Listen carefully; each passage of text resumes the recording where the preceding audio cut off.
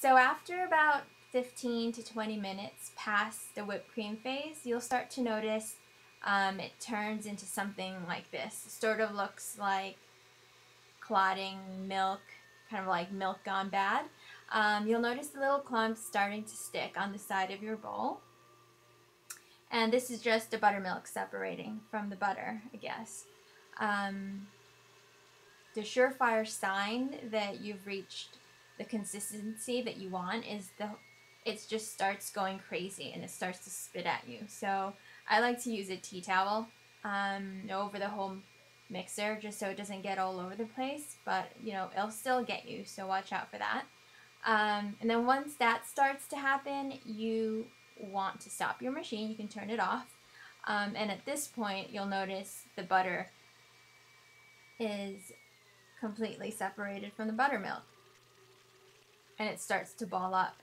Um, so once you turn it off, you can just tap the um, butter off of the whisk. And the easiest thing to do is just kind of tap your whisk against the side of the bowl and the butter easily comes right off. So that wasn't an issue. Some people, I think, prefer to change to the hook attachment right before it clumps into a ball, but I didn't find it an issue, so I think you can go ahead and continue using the whisk. Um, okay, so at this point you want to clump all of the butter pieces to one side so you can go ahead and strain the buttermilk. And you can save it for pancakes or drink it, whatever you like to do with your buttermilk.